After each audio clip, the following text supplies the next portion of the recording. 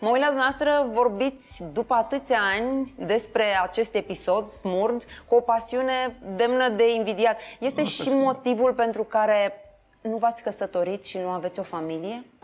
Deci, aceste lucruri, haideți să vorbim clar.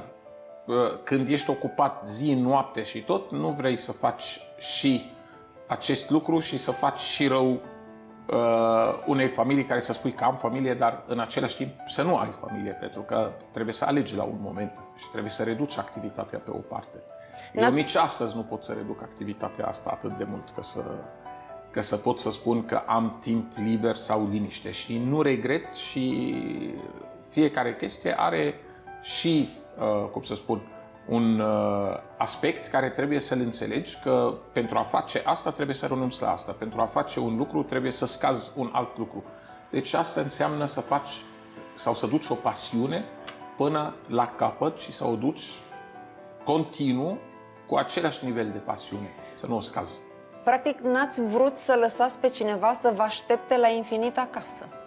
Uh, sau să nu mă mai aștepte. pentru că asta este în final, pentru că la un moment o să-ți spună, mai ales dacă ai și copii, adică sunt mulți care au trecut și trec prin această situație. La un moment trebuie să stai și să alegi, la un moment trebuie să stai și să spui, ă, da, merge așa sau renunț la asta sau nu mai fac asta, ca să pot să fac cealaltă parte. Deci nu merge să, să lucrezi cum am lucrat eu și asta, toți colegii știu că și program, că și program de lucru și tot, și să mai ai și alte obligații, foarte greu.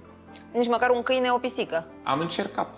Am avut un câine până a început să-mi facă o figură în stradă, să iasă. Eu îl dădeam de mâncare, îl dădeam apă și la un moment câinele a început și l-am prins făcând asta, că unii îmi, zicea, eh, îmi ziceau în stradă, la Mureș era, la Sunt George de Mureș, îmi ziceau, de ce nu dai la câine apă și asta cât ești plecat? Pentru că plecam dimineață, mă întorceam seara foarte târziu, uneori plecam într-o misiune cu elicopterul noapte și uneori nu veneam decât a doua zi, pentru că nu puteam să ne întoarcem. Deci asta a fost, lucram cu transgazul, cu elicopter aluet atunci și niciodată nu știai ce se întâmplă.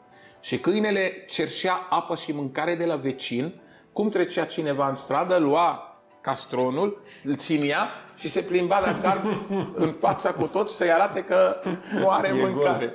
E, la un moment era clar, adică câinele suferea, și v-a părât la vecini. El era în grădină totuși, dar cu tot asta era foarte, foarte greu de ținut deci și l-am dat companie. unui coleg care l-a dus la țara să-l crească bine acolo. Deci uh, era un câine care, un lup uh, alb era. Era superb, dar nu mergea. Deci am încercat să știți, inclusiv câinele n-a putut să, să se plângea, să știți.